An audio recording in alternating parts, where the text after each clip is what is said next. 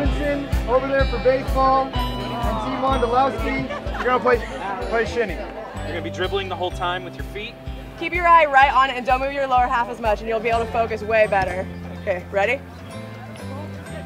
There you go, perfect. That was a little one too. Hit that other one.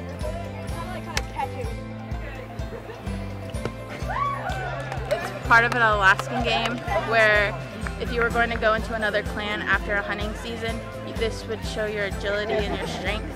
You kick the ball with the top of your toe and then it goes up in the air and then if you land on the same foot you kick it. Our mission for N7 is to inspire and enable 2 million Native American youth in North America. So having all of you here today is helping us reach that mission.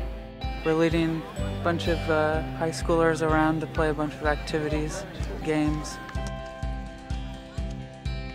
Be at Nike campus is awesome.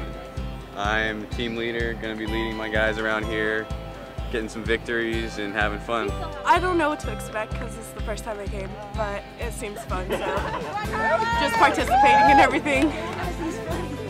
The Warsaw Schools of Business has, this is their second year I think doing this, and so they just want to get more Native students active and going out, and for us to be able to come out and share um, some local culture, like some local Native games like Shinny Stick, is it's pretty awesome.